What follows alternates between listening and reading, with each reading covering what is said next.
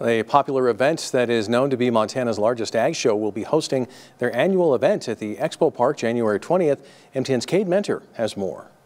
While the scene may be quiet here at Montana Expo Park, it will be just about ready to host Montana's largest farm and ranch show. And this year, it's said to be bigger than ever before. One of the things is, is it's not only an opportunity to visit with other producers from uh, around the state and around the country, but it's a chance to talk to experts in the various fields. Montana Agricultural and Industrial Exhibit, also known as MAGIE, will be hosting their 42nd annual three-day event with over 120 exhibitors from around the United States and Canada. Agriculture is the base of our country, and when agriculture is doing well, the country is doing well, and we know it very well here in north central Montana as as Great Falls is definitely an agricultural town and relies on agriculture. Tillman's Equipment will be one of the main sponsors of the event, and they will display their own special offer. One of the reasons why uh, we're one of the main sponsors this year on the MAGIE is because we have uh, recently uh, been granted the opportunity to sell the Fendt line of tractors, which is one of the premium lines of ag equipment sold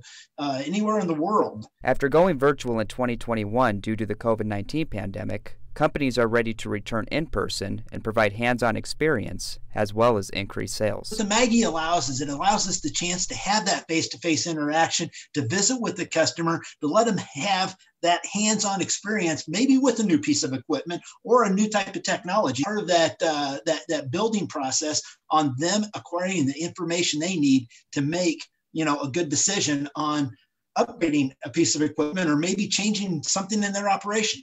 4 H and FFA members from around the state of Montana will be competing in a wide array of contests such as AG sales, meat judging, livestock judging, and agronomy. There's something for everybody at the uh, 2022 MAG. In Great Falls, Cade Mentor, MTN News.